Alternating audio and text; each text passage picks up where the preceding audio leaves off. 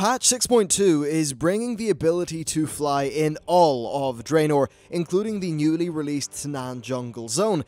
You will, however, have to actually earn the right to fly. The good news is that this is actually account wide, so you won't have to repeat this stuff on a character by character basis. If you're watching this video before patch 6.2 releases, then worry not.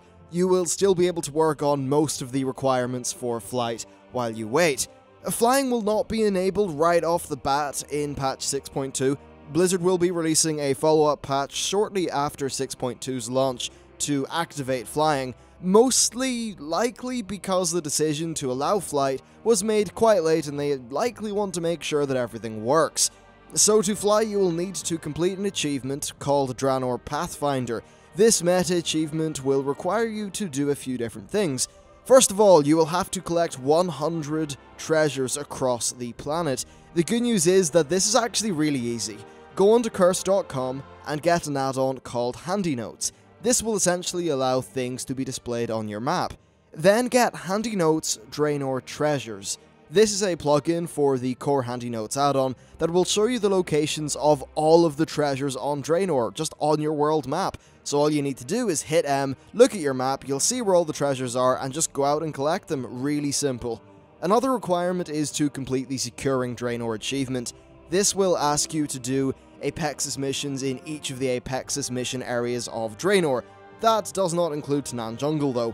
You might be worried that completing this will require loads of RNG and waiting for the right missions to spawn from your table. But the good news is you don't actually have to. The scouting missives that are purchasable for garrison resources from your garrison resource vendor actually count towards this achievement, so you can do all of the solo ones pretty much all at once.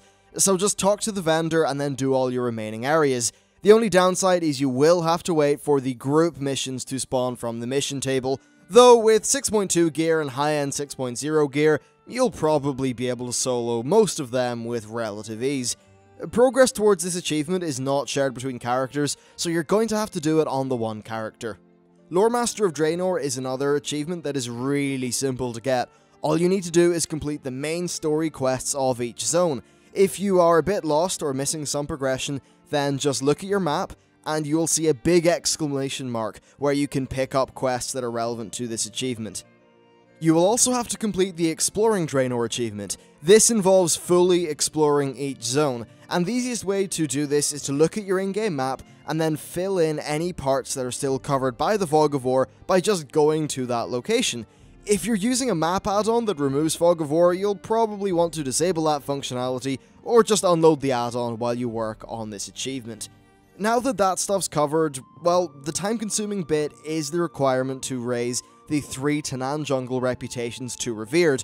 Of course, you won't be able to do this until 6.2 launches.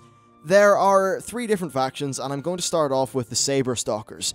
They are a very easy grind, however, they are going to take a bit of time because they are in the same style as Shaohao. The mobs inside their area will give you 30 experience apiece. They can be soloed, but just do it in a group because they are elite creatures, they've got over a million health, and it's just far quicker to do it in a group. There's also a weekly quest which asks you to kill a few different summonable boss mobs. In order to summon these bosses, you will need to purchase totems from the vendors outside Fang'rila.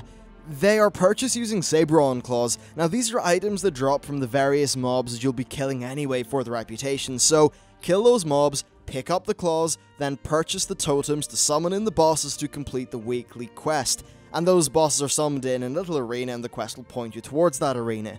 The weekly quest will give you 3,500 reputation, so it's really worth doing.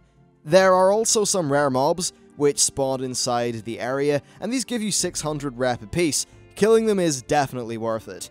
And there's also a daily quest called Tooth and Claw, which asks you to kill animals inside Tanaan Jungle.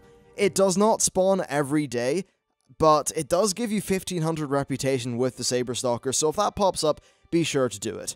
Also, using guild banners will increase the rep that you get while you are actually killing those mobs, so it's totally worth doing. Now next, let's move on to the Order of the Awakened.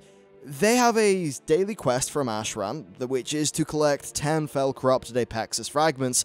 Now, to get those fragments, you just need to kill rares and collect treasures within Tanaan, and honestly, they are spread all over the place. It's really easy to do this stuff, and you'll pretty much do this quest while you're doing your regular Tanaan Jungle Apexis missions.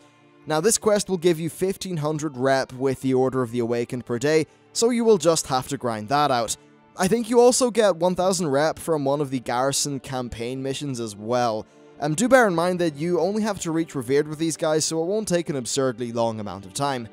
Then finally, we have Vol'jin's Headhunters and the Hand of the Prophet. They are mainly a quest-based faction. The main source of reputation will be the daily quests inside Tanaan Jungle. First of all, your daily Apexis mission will give you 500 rep, and then after that you will get two more quests. One of them will be to collect some items or kill some mobs, and the other one will be to do two Apexis missions in Tanaan on top of the one that you've already done. In addition to that, you'll probably get a quest which is just to kill X of a mob type. You don't really have to go out of your way to get reputation with this faction, just head to your Tanaan base and do all of the daily content that will spawn there. Unbuffed, you should get around 1250 reputation per day. Also, the Garrison campaign missions do give you a bunch of rep for this faction. So overall with these reps, getting to Revered will be quick enough, especially with the Saber Stalkers, but some of the other factions may take longer. It takes 21,000 reputation to get from neutral to Revered, so for the Order of the Awakening, that will take about 14 days if you're only doing the quest, and for the Hand of the Prophet, it will take about 17 days of daily quests alone. However, the Garrison campaign should cut that down to around 12 days.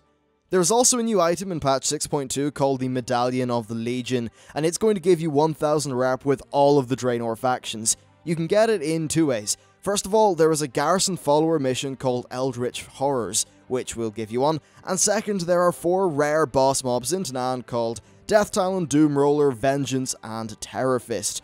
They have a chance to drop one of these, and killing them will likely require a group of players. All of the rep numbers that I've given here are unbuffed, Having a trading post will increase your rep gains by 20%, and uh, being a human will further increase those gains by 10%. So if you have a character that is a human with a trading post, then that is likely the ideal character to get these reputations done on. So, in summary, just do all that stuff, and if you've met those criteria, then all you need to do is wait until patch 6.2.x, whatever the minor patch, um, releases, uh, then you'll be able to fly in Draenor. So that's basically it for the guide. I hope you found it useful, and I hope you enjoy flying once you actually unlock it. Thank you very much for watching, and I will see you next time.